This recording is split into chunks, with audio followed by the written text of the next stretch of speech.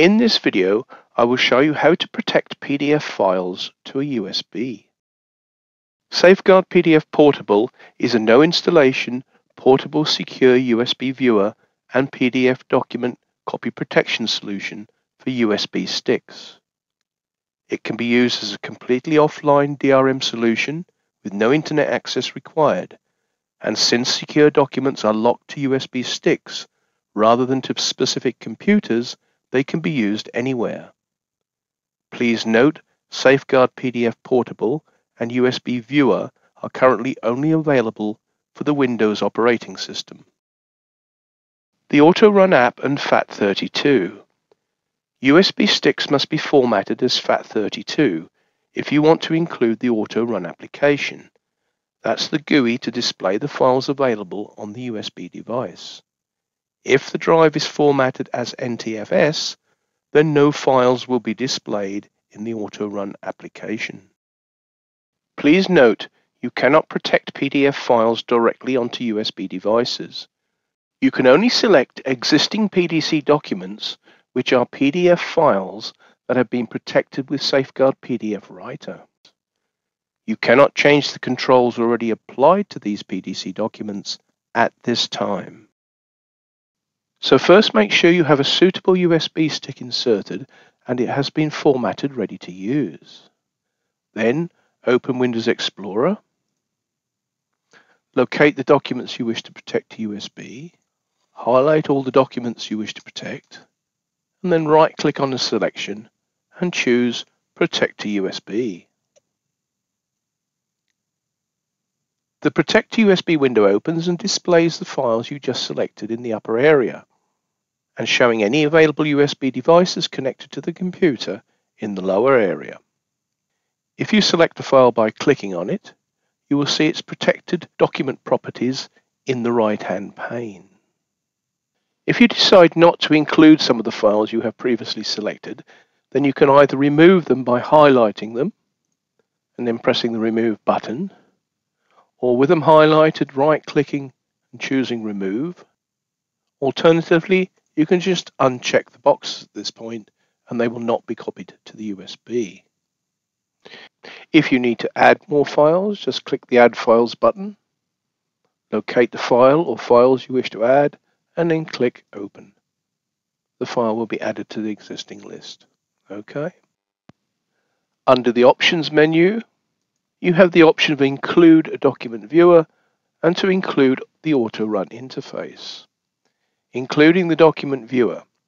Checking the document viewer installs the Secure Viewer application software on the USB device, allowing users to view documents from the USB without having to install the Secure Viewer on their computer.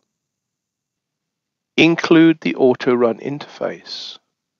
Including the Auto Run interface enables users to run a file called View Documents EXE which displays a dialog showing all the protected documents available on the USB drive. Once you are happy with the selection of files you wish to protect USB, select the USB device you wish to copy the files to, bearing in mind there may be more than one USB device on the system. Note the following information is also listed for USB device, the drive number allocated to it, the space on the device, the model of the device, the file system, the status, and the hardware ID. The hardware ID is used by the admin system to identify the USB.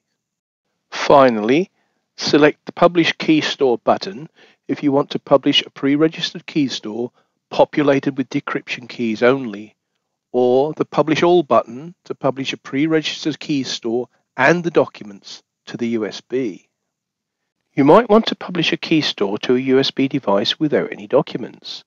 If you have protected documents to publications and you want users to be able to download the latest documents from your website, but have the keys available to view them from the USB device.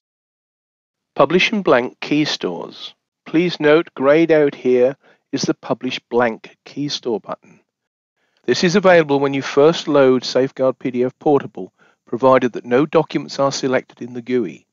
If you have documents loaded in the GUI, then you need to uncheck them for the Publish Blank Key Store button to become available. Publishing a blank key store creates a key store that is pre-registered and locked to both you as the publisher and the USB device itself. So, although there are no decryption keys currently in the key store, the USB device knows which publisher it belongs to and how to find their administration server in order to check for available access and decryption keys. Once you are happy with your selected files and your application settings, just press, in this case, the Publish All button. Progress window will appear showing the transfer progress. It will also tell you at the end when it's safe to remove the USB drive. There we go. It now says all done. It's now safe to unplug or eject your device. In this case, we're just going to close the window at this point. We can now also close the Protect to USB window A message will come up saying, do you want to save changes you've made to a project? If you plan to write the same documents on key stores to other USB devices in the future, then it may be convenient to save this as a project. If you don't intend to do that, just answer no. Using Windows Explorer, if we now scroll down, in this case here, click on USB drive, okay, we will now see the files that we just copied across, including the View Documents exe. Okay, if I double click on the View Documents exe, the Secure Viewer will load off of the USB and show a listing of all the other files we've just protected to the USB. All we have to do to open a file is purely double click on it. The viewer will open and there is the file. All DRM controls applied when the document was protected are enforced by the secure viewer for each document. So you cannot copy or change the text in any way. In this view, in this case, you can't print it. That goes for Control P, other ways of printing as well. So it's completely secure and controlled by the viewer itself. To view the next document, all you have to do is click on the Home tab, and it goes back to the listings. Double click on the next document, and it opens again. As we can see, this one has a confidential watermark included in with the document. Okay, so that's all there is to it. Once you've finished viewing the documents, close the viewer and close Windows Explorer.